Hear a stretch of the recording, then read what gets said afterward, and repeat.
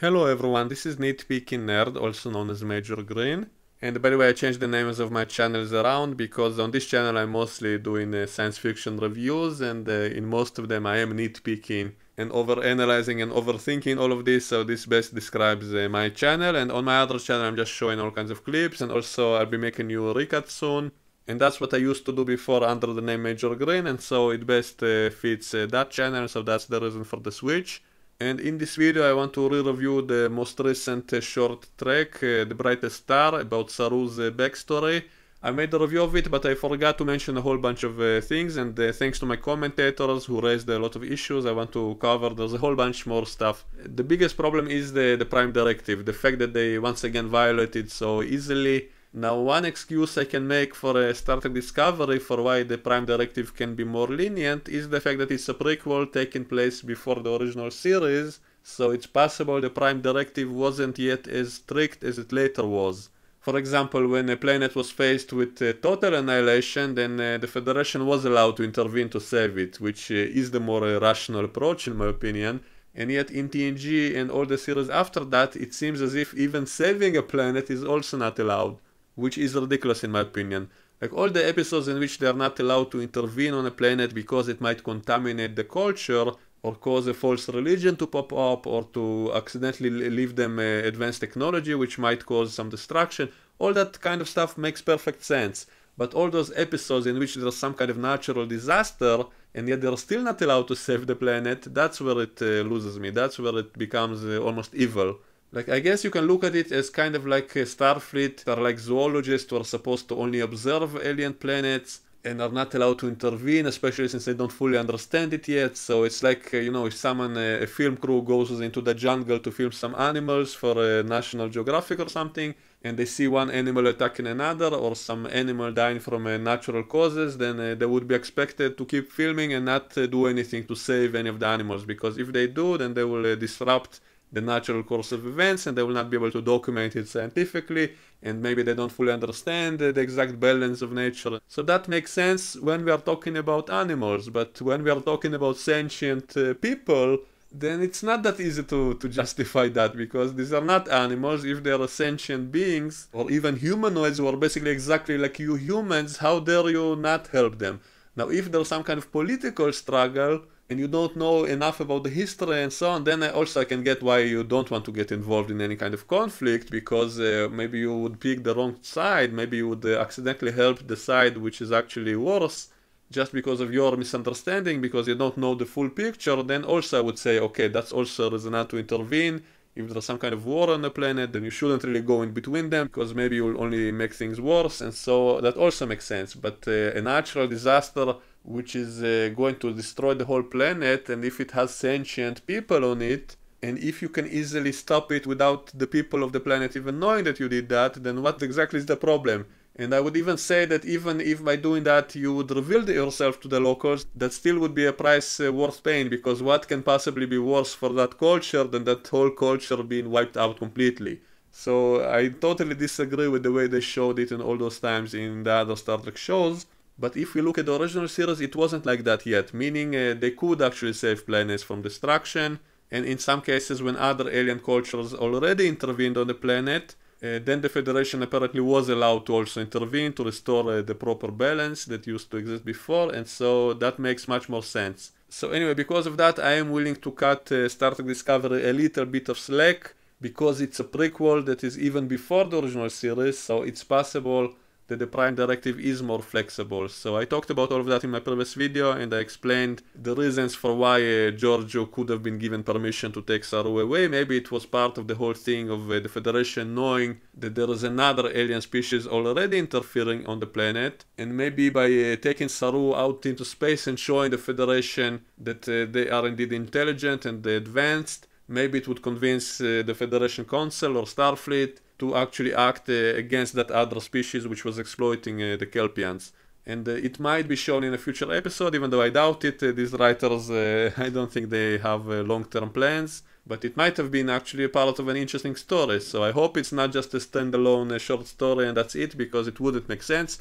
Uh, as we saw it in this short uh, trek, It even contradicts some of the continuity inside of Discovery because it doesn't really fit the dialogue in the first episode in which Saru said that uh, all his planet is binary with prey and predators and that was the reason they have such evolved uh, senses of danger and yet in this episode we see that the ones hunting them apparently are some kind of aliens and also that they go freely to their death without fear and so it's kind of a contradiction even inside the continuity of the show itself. He said that his species used to be hunted in past tense, so that means it no longer is happening. So when I watched the original episode, I assumed he was talking about the distant past of his planet, and I assumed that since then his species evolved and is no longer being hunted, because he was talking in past tense. So again, this seems to be a contradiction unless something happens as I suggested that uh, the Federation actually did stop that practice, uh, which would justify why they did what they did with Saru if it was all part of that plan. Maybe we'll find out later, I kind of doubt it, uh, because it seems like uh, the writers are lazy. It seems like they're not really thinking all this uh, stuff through as we are and it seems as if they're just recycling ideas because the idea of this episode of Saru being from a primitive planet who just happens to be such a genius that's kind of similar to the first uh, short trek uh, in which there was some uh, princess from uh, also a primitive planet who was such a genius who invented technology that no one else could invent and she was able to sneak on a starship and uh, all that stuff. So this is kind of the same kind of story here and also someone told me that uh, the idea in this episode about Saru was actually lifted uh, from a novel called uh, Anthem, which was about uh, a dystopian future in which humanity returned to the Stone Age and uh, they are all primitive again and one man uh, discovers electricity again, starts to study science again and uh, he's been oppressed by the religious uh, leadership of his planet. So very similar kind of story, but uh, honestly, this kind of story existed in a lot of places. So I'm I'm not sure I would call this uh, a ripoff or a theft. This idea was in many many uh, movies and books, and so it's not really original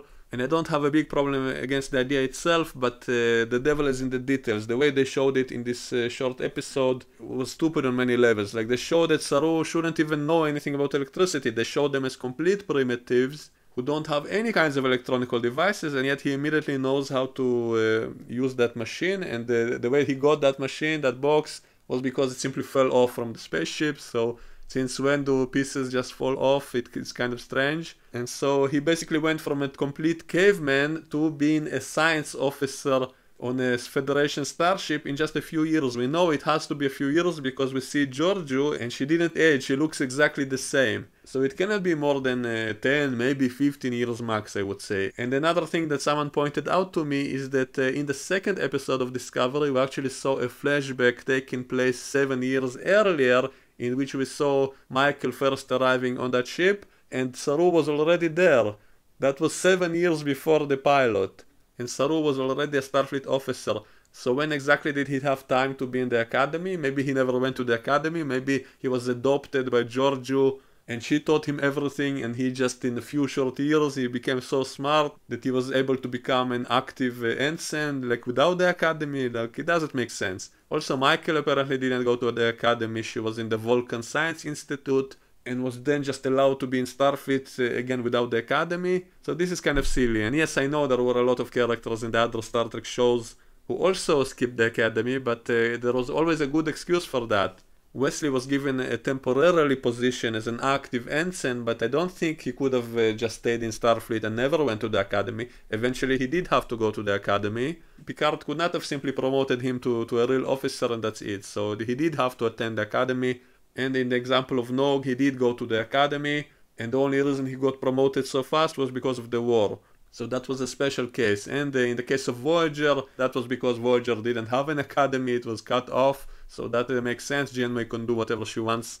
And also in the case of Kira in Deep Space Nine, she was given a Starfleet uniform, but that was basically so she can more easily work with the Cardassians. So again, it was kind of a temporary thing, and uh, only because of the war she was allowed to do that. And then later she returned to the Bajoran militia like before, and so these are not good examples to show that Starfleet is very flexible it doesn't seem to be that way in the norm. It seems like it's very hard to be accepted into Starfleet Academy. I mean, uh, even Wesley failed to be accepted a few times, I think. So it's not easy at all to be accepted. You have to be the best of the best to be in Starfleet.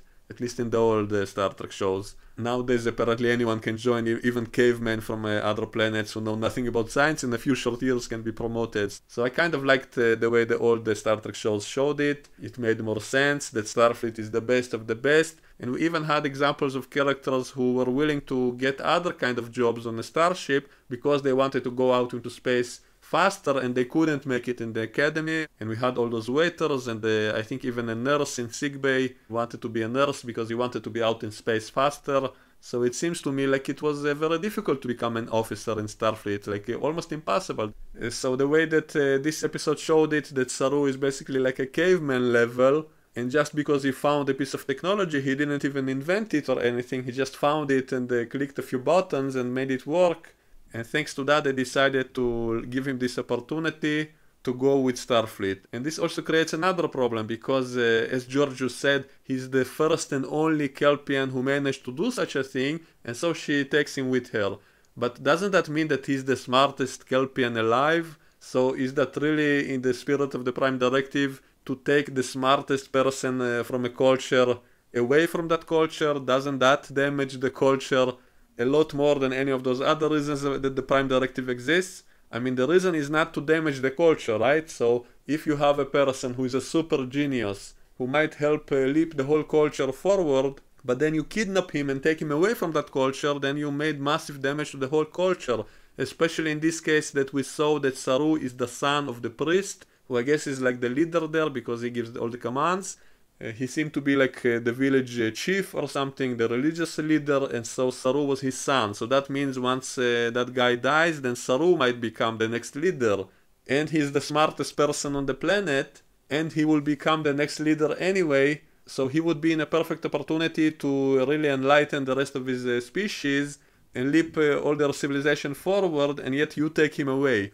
Just imagine if some aliens arrived and took away our smartest people how would that affect us? Like if someone took away Newton or Einstein or any of those smartest people, that might hold off the progress of all of humanity by decades if you take the smartest person away. So why would Starfleet do it? It makes no sense. That's the complete opposite of what the Prime Directive is supposed to prevent. So you're basically condemning them to stay at the same level when naturally they should have evolved uh, thanks to Saru. People like Saru, especially since he would have become the next uh, chief of that village and he would be much more enlightened and clever and smart and might have introduced the science to these people and you sabotage the, the progress of their culture. So unless they explain later in an episode that the reason she did that was to stop uh, that other uh, alien species from uh, hunting the Kelpians, that's the only explanation I would accept as logical. I mean, if she wanted to show off Saru uh, to the Federation Council or to Starfleet Command in order to convince them to stop the other aggressive aliens from uh, hunting that uh, planet.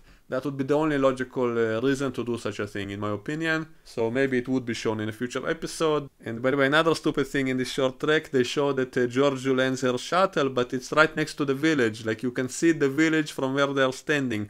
Uh, before he leaves, Saru takes one more look at the village so it's clearly very close by, and everybody can see it from the village. You can see Saru's sister, and she sees the shuttle in the sky, and she sees how it goes to warp and everything. So why at least not turn off those uh, headlights on the shuttle if you're so close to the village? And so that was another annoying thing. But maybe it's allowed in this case because the Kelpians are aware of the existence of aliens in this uh, episode. I mean, the aliens who hunt them so it's not the first time they see a spaceship, so maybe if they already saw a spaceship, then it is more allowed to let them see another one. And now I want to go over some of the comments uh, on my previous video.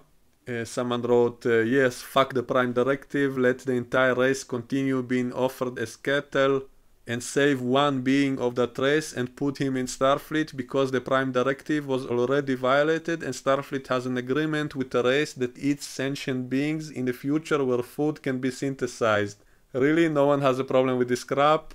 Uh, well, first of all, about the food, uh, we don't know if it can really be as easily synthesized as it was in TNG. I, I would actually argue that uh, in the original series they didn't uh, yet have replicators. And the Klingons obviously don't have replicators because we saw that they still need the real food. They were starving in one of those episodes. So I guess it's possible that even uh, space aliens might uh, still need food. Also, we know that the Kelpians are some kind of delicacy because even in the mirror universe they were being eaten even by the Empire even though everybody knew they're sentient beings. So I guess they're just so tasty. Uh, someone else wrote uh, there was a situation in Star Trek where an advanced spacefaring alien race was exploiting a primitive pre-warp civilization. In the original series episode A Private Little War, the Klingons were arming the indigenous villages with flintlocks and instigating conflict with the native hill people. Their goal was to set up Apella, the villager leader, as a puppet governor on behalf of the Klingon Empire. Kirk's solution was to create a balance of power between the two factions by arming the hill people with the same weapons. And I said uh, that implies that Starfleet would be allowed to intervene on a primitive planet if a different advanced power already intervened there, but only in a way that would restore the previous balance. So again, in the original series, the Prime Directive was much more flexible and much more open to interpretation by the captain, I guess, much more like a guideline, not really a strict rule like it later was uh, in TNG when it became like a dogma in which you could never intervene no matter what, no matter the circumstances, the context, nothing. So I, I actually prefer the way it was in the original series, it makes much more sense. And in this case, again, this is something I mentioned that what if some other alien power intervenes already, then wouldn't you be allowed to intervene, especially if it's in order to restore the previous balance? And so in this case with the Kelpians, if some other aliens are uh, doing that to them, then shouldn't Starfleet try to stop it somehow? And so if it was part of some actual plot, then I would actually appreciate it. Might uh, fix this short trek if they actually explain it better in an actual episode. And it might also be a good episode. It might create uh, actual drama if Saru meets uh, those other people who enslaved his race. It might be interesting. Someone mentions the Bajorans because I discussed that in the previous episode and said that uh, the Bajorans did have warp technology. Now that I think about it, they probably did have warp technology even before they were conquered by the Cardassians, because it was said that they were always using ships against the Cardassians, they were fighting them out in space as well, and that some of them left their planet as refugees and settled on other planets. And we had Bajoran militia right uh, when the Cardassians left, and uh, apparently they did have warp engines. And so Bajor did have the warp technology, so that means the Starfleet could intervene on Bajor, but Starfleet simply didn't want to mess with the Cardassians because it was all in the borders inside the, the Cardassian Empire. So in short, they didn't want to go to war with the Cardassians simply because of what they were doing inside their own territory. Even though I would argue, why should Bajor be considered their territory? if they conquered it by force and the Bajor was already a post-warp uh, civilization and uh, technically uh, they had uh, faster than light travel even centuries before. It was shown in a few episodes that the Bajorans were using some kind of sail ship which allowed them to go faster than light uh, even centuries before. So I actually wonder if that would be considered uh, as if they have warp technology because technically it's not warp engines but it's still faster than light travel of another sort. So I would say yes, I would say that would still count uh, because they would still be meeting aliens out in space. So it doesn't really matter if it's warp drive or another method. Uh, if they are meeting aliens in space, then Starfleet would be allowed to interact with them. Uh, just like in that episode Symbiosis uh, about the two planets in the same solar system, I'm not sure they even had warp uh, technology, but they did have uh, interplanetary ships moving from planet to planet, and Picard was allowed to talk with them. So I guess once you are in space, and in contact with other planets, then it is allowed and it doesn't even matter how you got the technology. I mean, the Ferengi said that they actually bought warp technology, they didn't invent it. They bought it from someone else and then were allowed to use it, and obviously Starfleet is allowed to interact with them. And the same with the Pakleds, for example, it was said that uh, they only steal technology from others, they don't invent anything, and yet Starfleet is allowed to talk with them. So Obviously, if a species is out in space anyway, you would meet them in space anyway. It would be ridiculous to just ignore them just because they didn't invent the technology or something like that. Like it would make Starfleet extremely snobbish if they wouldn't even answer a hail of another ship simply because they think that ship uh, stole that technology and didn't invent it. So that would be ridiculous. So we can say, I think for sure, that anyone who can go out into space Starfleet would be willing to talk with them. They only hide themselves from the primitive planet which never went uh, far into space yet at all, which doesn't know about the existence of aliens, then they would keep themselves hidden uh, because uh, just the knowledge of aliens might be devastating for a society, just as we saw in the episode First Contact in TNG. Uh, the planet was not yet uh, psychologically ready for that idea, and so that's why it wasn't a good idea to reveal themselves uh, to the planet. Uh, which was a, a, neat way of that episode to also explain to us uh, now uh, if uh, there are so many aliens out there, how come no one is making contact with us today? and it implied that uh, we are yet not ready because those aliens in that episode were exactly the same level as we are today and the episode was kind of telling us that we are not ready yet because uh, we're still too violent, too self-centered, uh, too egotistical, that we would not be able to accept the idea of aliens, we are too intolerant and all these uh, things. And so uh, the Federation only makes contact with the planet after it reached warp technology, and by the same time, usually, I guess, the society is also psychologically ready to, for the contact as well. In most cases, I guess. Anyway, someone asked me in the comments, what if there was a cow which can speak in our reality? There would be people who want to save it but still eat the meat of other cows. Someone said, I thought the backstory would be a prey and predator species, both develop technology and both join the Federation, and so how to stop killing each other. That would have made an interesting episode. Imagine if some planet wants to join the Federation, but it's composed of two intelligent species and one is eating the other and maybe it's uh, willingly on both sides. Uh, how would the Federation respond to that? All kinds of weird uh, scenarios like that. Uh, those would have made interesting uh, Star Trek episodes. That's what Star Trek should be about. That's what it used to be about. All kinds of strange cultures, strange uh, science fiction ideas. that's what should be done. That's one of the most frustrating things about all these new shows and movies. They are basically soulless. They, they are only about action or things that are just exactly like uh, all we know. Why not do something unique and imaginative which uh, no one thought about before? That would have made an interesting episode. A few people mentioned Stargate. Uh, these are all topics I will probably discuss in the future. I might do a very long video about the Prime Directive, and then maybe I'll mention some examples in Stargate because it's funny how in Stargate it was often the opposite. Like our heroes were on the receiving end of the stick of the Prime Directive of other more advanced alien species who didn't want to help. And again, this is what Star Trek used to be. It used to raise uh, topics for discussion and for debate, and that's interesting. And yet today it's all boring. As someone said, Homeworld is an offensively bad episode. Yeah, I agree. The basic idea of it. It should have been Picard's idea to save that village. Usually Picard is a very moral and good character, but uh, this is one of those examples in which he is totally the opposite. Also, he says uh, Michael also never joined the academy. Apparently, they went to the J.J. Abrams School of Becoming an Officer. Starfleet must have some kind of guidelines as to which type of communications they reply to. Yeah, agree. Probably subspace communication is something uh, not that easy to produce. Uh, probably on the same level as warp drive, I guess, because it's faster than light. I guess most times uh, a culture would not be able to communicate with uh, subspace unless they reached uh, warp technology and so it wouldn't usually be a problem and if it's just radio signals and stuff like that then starfleet probably wouldn't answer without knowing where it's from. And so in this case probably saru activated a, a subspace communicator. Otherwise starfleet would never have answered in my opinion. So a lot of people joke about uh, why are they called kelpians? Is it because they eat kelp? I'm not sure if it's uh, that dumb. I mean uh, how do all the names come uh, in star trek? And whose perspective is it from? I mean who is actually naming them? Do they name themselves or what? It often made no sense in Star Trek. And another guy says the Federation taking away the most intelligent Kelpian would pose a serious danger to the rest of his species. It would be as immoral as National Geographic removing a tribe person from North Sentinel Island just to show the rest of the world how intelligent they are. Uh, I wrote uh, that's exactly why the Prime Directive should have been applied in this case, because by removing him from the society, they probably negatively affected it, especially since he was the son of the chief, which means he could have become the next chief, and with his higher than average wisdom, he could have led his people to enlightenment, but Starfleet sabotaged that by taking him away.